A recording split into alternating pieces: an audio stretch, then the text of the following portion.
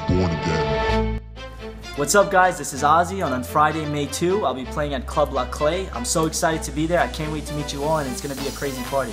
So make sure you get there. Chivalry is born again.